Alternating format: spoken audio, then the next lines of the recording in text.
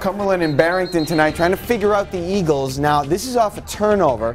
Barrington's Ethan Singer takes the handoff, wills himself towards the end zone and in. EP no good, windy. Uh, it was real windy, so 6 0 Barrington. They would make a defensive stop, get the ball back, and then it's Liam McManus keeping it himself down by the goal line. He scores. Barrington wins 29 7 over Cumberland. That's a big win for the Eagles. Yes, it is, of course. Surprising right at the ship. there.